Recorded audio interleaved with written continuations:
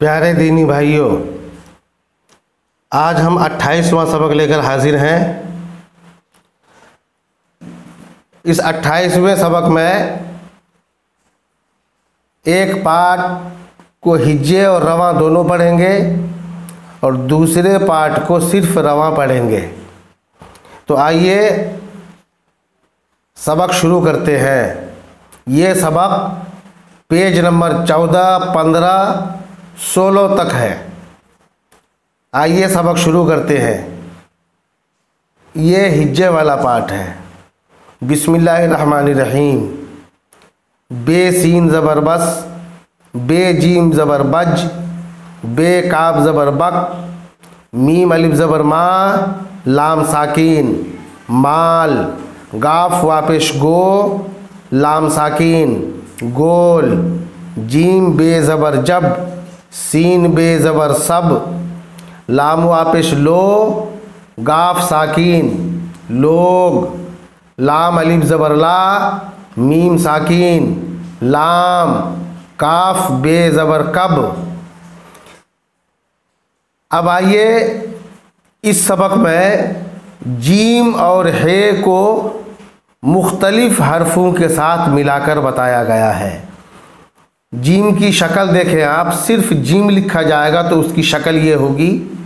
और जीम को दूसरे हर्फ के साथ अगर मिलाएँगे तो शुरू में अगर मिलाएँगे तो उसकी शक्ल ये होगी।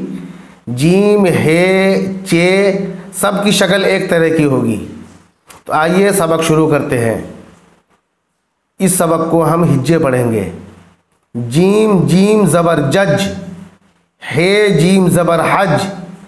जीम रे ज़बर जर, चे रे ज़बर चर, छे ते ज़बर छत, चे चेढ़े ज़बर चढ़, सीन चे ज़बर सच, हे काफ ज़बर हक, हे काफ पे हुक, जोड़ मीम साकिन, बराबर हुक्म, उसको हिज्जे यूँ करेंगे, हे काफ पेश हुक, मीम साकिन, हुक्म। स्वाद अलिफ ज़बर सा, हे बेजरहिब साहिब, गाफ अलिफ ज़बर गा, जीमरे ज़बर जर, गाजर, चेल आम ज़बर चल, खेद आल खिद, मीम ते ज़बर मत खिदमत मीम अलिफ ज़बर मा, चे सिन ज़ेर चिस, मा चिस, चेरे ज़बर चर, खे अलिफ ज़बर खा, चर खा। चे ज़बर चा, लाम अलिफ ज़बर ला, चला। चे अलिफ ज़बर चा, हमज़ा ये ज़ेर ए चाय जीम पेश जू, जोड़, दाल अलिफ ज़बर दा, बराबर, जुदा। जीम पेश जू, दाल अलिफ ज़बर जा, दा।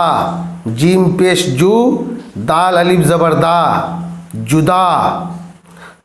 अब ये इसी सबक का ये हिस्सा है। इसको सिर्फ़ रवा पढ़ेंगे।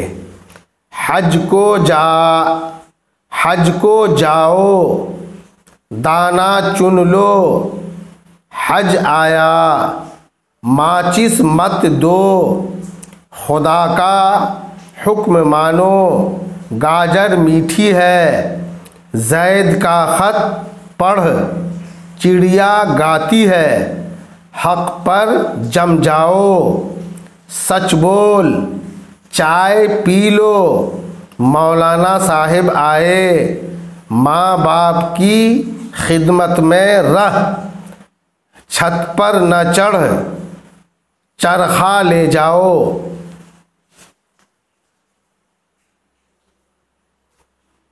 वो चला गया। तू आखिर में जा, जड़ न काट, रोटी जल गई, दीन की बात पर चल भाई बहन से जुदा ना रह। अट्ठाईसवां सबक ख़त्म हुआ।